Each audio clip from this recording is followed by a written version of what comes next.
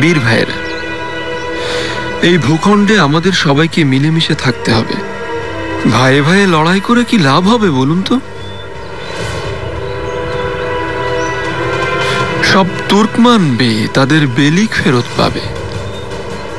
সিপাহীদেরকে তাদের অধিকার, তাদের পূর্ণ অধিকার দেয়া হবে। সিপাহী হিসেবে পুনর্নিয়োগ পাবে। মহামান্য পাশা, মুখের কথায় কি ভরসা? আমাদের প্রাপ্য অধিকারগুলো চুক্তিপত্রে লিপিবদ্ধ করে দেওয়ার ব্যবস্থা করুন।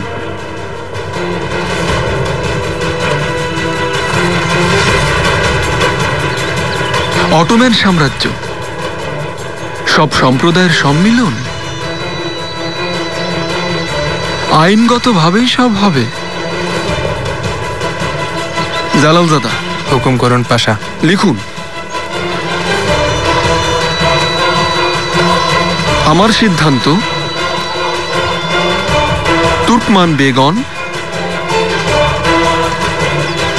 আর মাসাকলিরা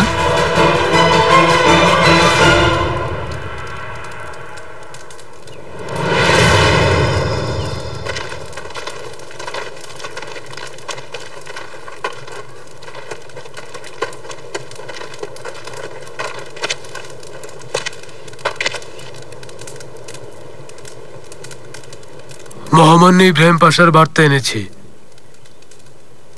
আমি যা কিছু বলছি সবই ওনার কথা। বলো তাহলে মহামান্য পাশা কি বার্তা পাঠিয়েছেন? পাশা বলেছেন আপনারা তিন দিনের মধ্যে আত্মসমর্পণ করবেন। তাহলে স্বাধীনভাবে সাম্রাজ্যে থাকতে পারবেন বা অন্য কোথাও চলে যেতে পারবেন। আর আপনারা এই প্রস্তাব মেনে নিলে আপনাদের ক্ষমা করা হবে এবং প্রাণ রক্ষা পাবে।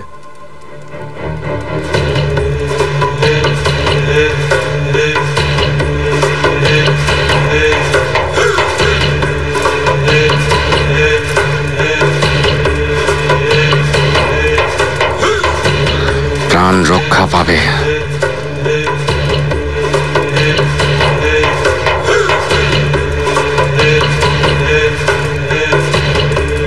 মানে কি এর? কে ইব্রাহিম? সে কি আল্লাহকে বিশ্বাস করে না? কে ওকে এত সাহস দিয়েছে?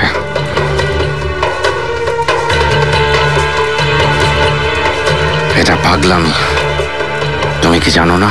প্রাণে বাঁচিয়ে রাখার ক্ষমতা শুধু আল্লাহর? তার মানে কি পাশা নিজেকে আল্লাহ মনে করছে? জি না, ভুল বুঝলেন। পাশা কাউকে মেরে ফেলতে চান না। কিন্তু যদি শান্তিপূর্ণভাবে না মানেন, তবে এই রক্তপাতের জন্য শুধু আপনিই দায়ী থাকবেন। বোঝা গেছে?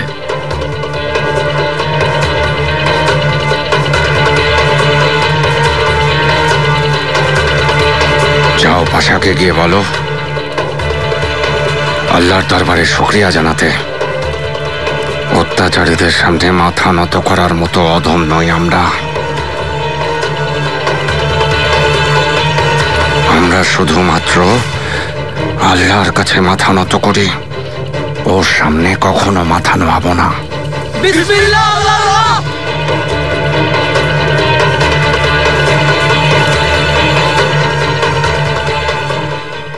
কিছুদিন ধরে উনি শিকার কুটিরে থাকছিলেন।